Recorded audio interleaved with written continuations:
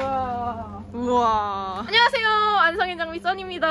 만나서 안녕하세요. 반갑습니다. 하이디입니다. 네. 자, 저번에 다이아 영상을 올렸는데 댓글이 많이 달렸더라고요. 그래서 그 댓글에 대한 답변을 오늘 영상으로 한번 말씀드리겠습니다. 저희가 댓글 중에 그런 댓글이 있더라고요. 네. 와, 요거 다알리아 새로 심으신 건가요? 뭐 이런 아, 댓글도 있고 네네네. 뭐 하원에서는 좀 작은 다알리아만 팔던데 네. 어떻게 해야 이렇게 좀 크냐고 음, 물어보시는 분들도 계시고 네네네. 네, 그러더라고요. 아. 그래서 저희가 오늘 저희가 어디서 샀는지까지 한번 알려드리도록 하겠습니다. 아, 네. 어 우선 꽃부터 한번 보고 어 너무. 근데 처음에 요거 사진 있어요? 완전히 그냥 다르거든요. 그렇죠. 사진이 어, 완전히 맨땅, 달라요. 네. 맨땅. 공부의 마음이 이런 건가라는 이런 느낌이 댓글에 일적한 드는 것 같아요.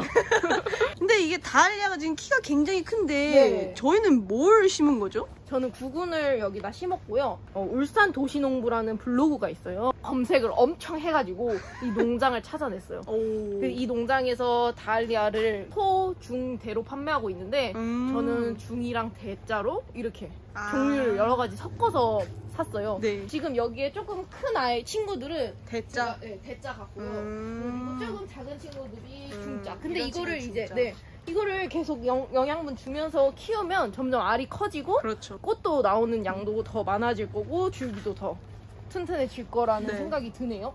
네, 그래가지고 저는 어, 구근을 가지고 심었고요. 네. 어, 제가 그 씨앗을 사가지고 파종한 것도 있어요. 오, 보여주세요, 보여주세요. 그죠? 제가 그거를 어, 언제 파종했냐면 5월에 파종했거든요. 네. 제가 구근을 심은 날짜는 4월 15일 날 심었고요. 오. 지금 6월 24일이니까 두 달 동안에 지금 벌써 이런 변화가 생겼고요. 제가 파종한 날짜는 4월 20일 날 파종했네요. 과일이가 파종한 게 이거거든요. 어디? 더 있어요. 저기 여기 아. 숨어 있는데 오, 한 뼘, 두 뼘. 팥병 반, 네. 두뼘 정도 어. 되네. 그러니까 이게 지금 이렇게 구근처럼 바뀐다는 얘기예요. 저는 오. 파보질 않았는데 궁금하네요. 그래, 진짜 궁금하다. 어. 그러면은 이제 결과적으로는 씨앗으로도 된다. 그렇죠. 말이죠. 근데 올해 꽃을 못 볼 것 같기는 그렇지. 한데 내년 되면은 훨씬 어, 더 크게 어, 날그것 같아. 나는 깜짝 놀랐어. 음. 너무 이게 발화율이 아. 높아가지고 깜짝 놀랐던 음. 거. 가을리아랑 작약 빼고는 다 지금 파종한 거거든요. 음. 파종했는데 다 이 정도 자란 거면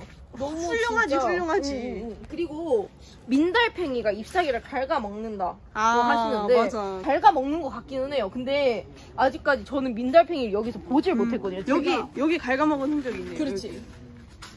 음. 근데 저는 찾아보질 않아가지고. 근데 여기가 이제 하우스랑 노지랑은 분명히 차이가 있겠죠. 그렇죠. 응. 그런데 이제 하우스는 병이 더 잘 와가지고. 음. 저희 엄마도 이거 딱 보시고 이거 지금 달팽이 있다고 그래서 저녁에 와가지고 불 켜놓고 막 보면 막 애들 막 여기 맞아요. 올라와 있다고 손으로 잡는 거밖에. 달팽이는 저녁에 잡는 게 최고예요. 네. 농약 말고는 방법이 없냐고 그러셨는데 그거 이외에 이제 내가 감당 못하겠다 하면은 그냥 그거는 어쩔 수 없이 안고 가는 거죠.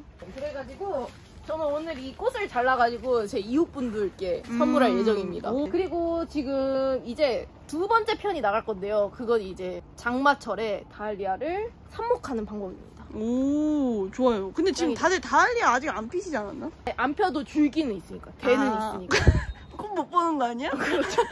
아 그래서 원래 장마철에 삽목을 한다 그러는데 아 저는 꽃 다 지면 하려고요.